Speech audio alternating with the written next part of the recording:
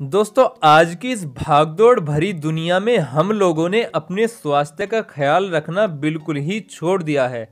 दिन भर में हम छोटी छोटी इस तरह की ना जाने कितनी ही गलतियाँ कर जाते हैं, जिन गलतियों का असर हमें तुरंत दिखाई न देकर भविष्य में जाकर दिखाई देता है।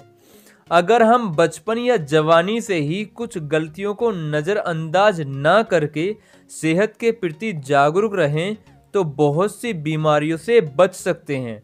अब जैसे कि हम में से कुछ लोग जल्दबाजी में, सुबह नाश्ते में कुछ प्रोटीन युक्त नाश्ता करने के बजाय चाय के साथ रोटी खाना शुरू कर देते हैं, जबकि ये बिल्कुल गलत है, क्योंकि चाय के साथ सुबह में रोटी खाने से हमारे शरीर को कोई भी पोषक तत्व नहीं मिल पाता है। और जबकि हमारे शरीर को सुबह में पोषक तत्वों से भरपूर अगर नाश्ता नहीं मिलता है तो हमारे पूरे दिन की एनर्जी डाउन रहती है और हम आलस से भरे रहते हैं, काम में अच्छे से हमारा मन नहीं लग पाता है। और अगर हम सुबह में प्रोटीन और कार्बोहाइड्रेट वाले नाश्ते को करते हैं तो हम पूरे दिन में कार्य करने की पूरी शक्ति ले लेते हैं।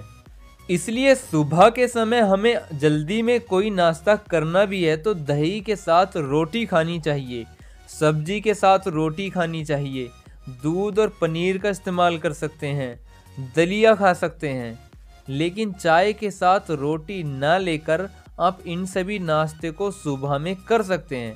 वैसे भी चाय में कैफीन होता है और कैफीन को सुबह सुबह लेना अच्छा नहीं होता है, क्योंकि कैफीन हमारे शरीर के लिए बेहद ही खतरनाक होता है।